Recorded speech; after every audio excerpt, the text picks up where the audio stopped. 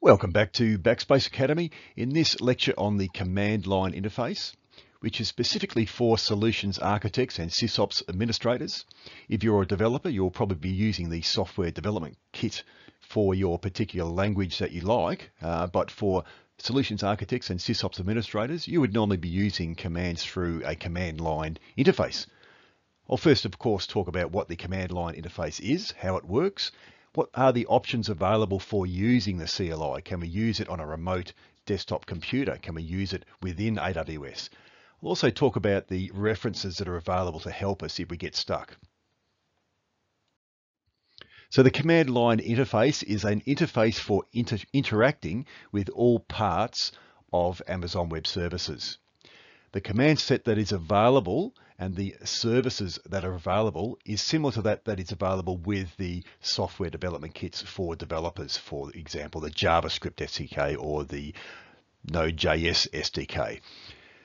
It allows interacting between remote computers and AWS, and it also allows for interacting between EC2 instances and AWS. So you can SSH into an EC2 instance and issue command line interface commands uh, on your AWS services.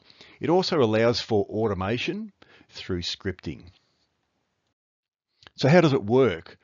So the first option there available is to use a remote desktop computer on your own infrastructure and then communicate to AWS. So you would have your desktop computer and you would have the command line interface installed on that desktop computer. And the command line interface will be sending API commands to the AWS services that you're looking at. And that's how that would work. And so it would be over, it will be using the HTTPS API. The command line interface will be looking after all that backend stuff for you. And you just simply issue your commands to the command line interface. The other option there is to uh, use an EC2 instance, which has the command line tools installed on it.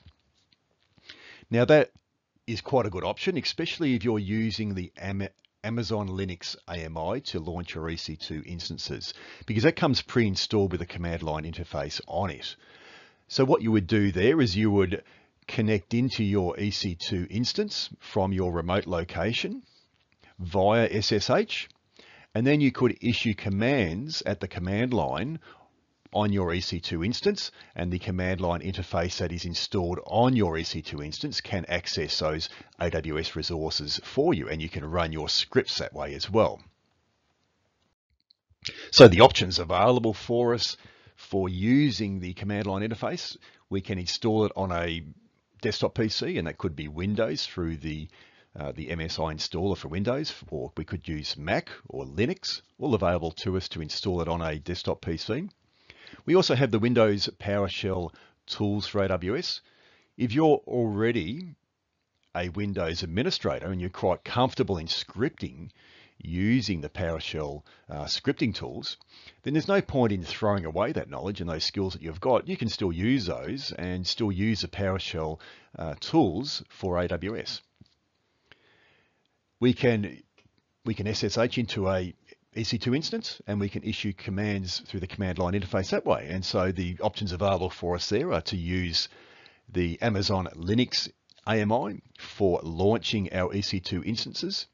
If we do that, the Amazon Linux AMI already has the command line interface tools installed on it. We can also use another Linux distribution, such as Ubuntu, that doesn't have the command line interface tools installed on it by default, but we can install them using uh, Python pip uh, to install those command line interface, interface tools for us.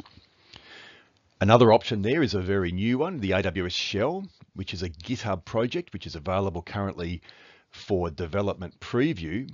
And that's an integrated shell environment. And that gives us a little few little little uh, efficiency tools, I, I, for want of a better word. And so it'll have autocomplete, it'll have snippets and that sort of thing available to us if we're doing a lot of scripting in, in the shell.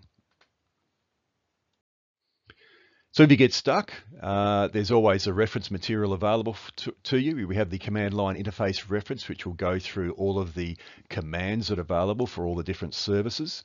And, we, and of course, we have the command line interface user guide there available to you. So that's it for an introduction to the command line interface.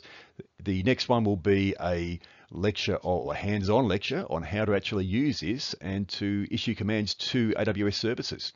I'll see you in that one.